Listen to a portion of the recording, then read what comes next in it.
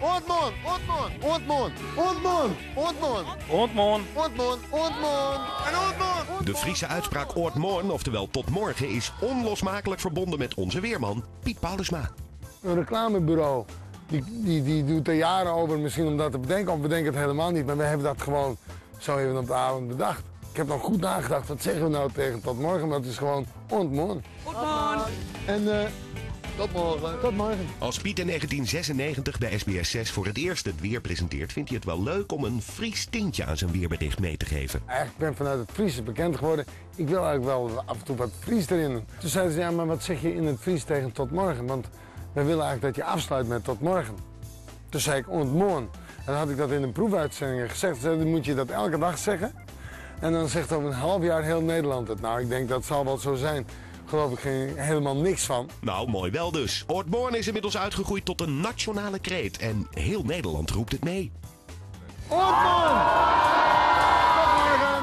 Iedereen kent de kreet, maar het uitspreken ervan is nog niet zo makkelijk. Ik denk dat die bijna Fries moet zijn om het goed uit te spreken. Maar ik kom af en toe wel eens mensen tegen die het wel goed uitspreken. Ontmoen. Maar de meeste mensen zeggen oetmoen of iets dergelijks. Voor zijn weerberichten toert Piet het hele land door en overal staan zijn fans met smart op hem te wachten. Hij is al twee keer verkozen tot populairste weerman van Nederland. In 2006 viert hij zijn 10-jarig jubileum en krijgt hij een hele speciale verrassing.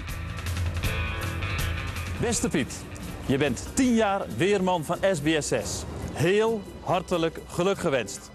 En we genieten van jouw weerberichten. Want je bent niet zomaar een weerman. Je staat altijd tussen de mensen.